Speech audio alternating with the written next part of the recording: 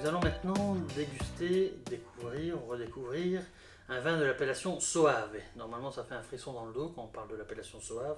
Je crois qu'on a tous en souvenir euh, la dégustation d'un Soave servi un petit peu chaud dans un petit restaurant italien et que le vin était un peu oxydé. Heureusement, ça a changé.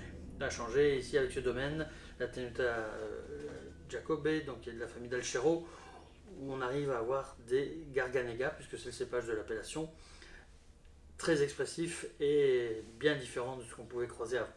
Donc au niveau de la robe, on a une robe qui est jaune, euh, brillante, moyennement soutenue, avec des reflets verts, viscosité moyenne à légère.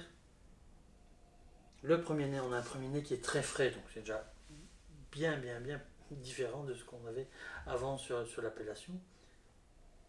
Donc on a un nez qui est un tout petit peu agrume, un peu fleur blanche, presque un petit peu, un petit peu pêche comme ça ou abricot avec des notes un petit peu orange, euh, non pas orange, pardon, euh, amande, amande, euh, amande amère ou amande verte, la fleur d'amandier. Quand on le travaille, ça va un petit peu plus sur les, sur les fruits à chair jaune, il y a une petite pointe un peu agrume. On a un premier nez qui est très frais, ben, pardon, un deuxième nez qui est très frais, très agréable.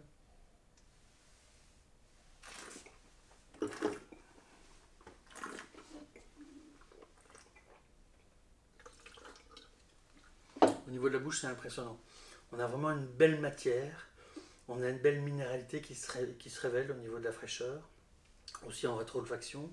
Euh, c'est très persistant, donc on a une acidité qui, euh, se marque, mais qui est, très très fine, donc c'est vraiment euh, une toute belle minéralité d'ensemble, je dirais. Donc c'est un très beau vin pour accompagner les crustacés, les poissons crus, les préparations de poissons légères. Et donc quand vous buvez un verre de ceci, vous pensez que vous êtes juste euh, à côté de Vérone, euh, sur les, anciennes, bah, sur les pentes des anciens volcans, donc sur les terroirs volcaniques. Et vous pourrez savourer pleinement ce vin remarquable qui est un vrai renouveau pour l'appellation. Donc bravo à la famille Delchero, continuez comme ça et bonne dégustation à vous. Au revoir.